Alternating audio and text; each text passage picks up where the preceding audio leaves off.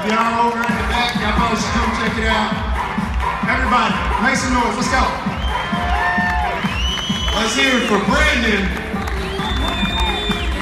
go. Let's hear it for Brandon. Ooh.